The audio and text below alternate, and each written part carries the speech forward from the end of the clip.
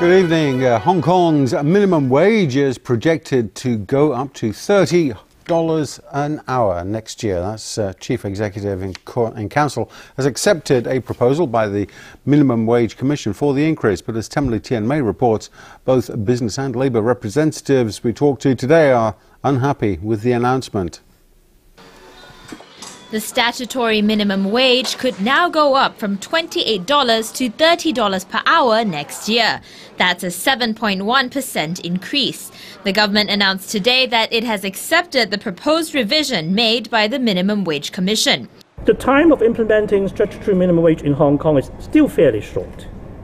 And this is also the first time that we revised the wage rate.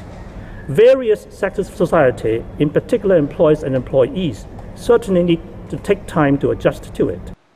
More than 220,000 workers could get a pay rise, and businesses are expected to bear an extra cost of $2 billion. The government believes the increase will have little impact on inflation. The Minimum Wage Commission says the new rate was achieved through unanimous consensus after more than a year of talks. But not everyone is happy with today's announcement. A catering sector representative says they couldn't even hire anyone at $28 an hour, let alone $30. On the other hand, Labour Party lawmaker Lee Cheuk Yan says $30 isn't even enough for a meal.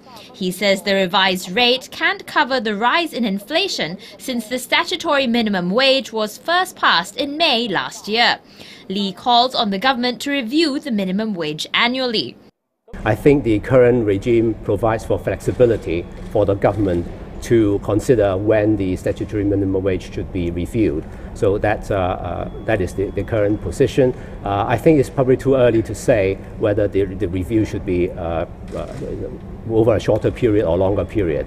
The proposed increase in the minimum wage will be tabled at the Legislative Council meeting next Wednesday. Now, if approved, it could take effect as early as May 1st next year.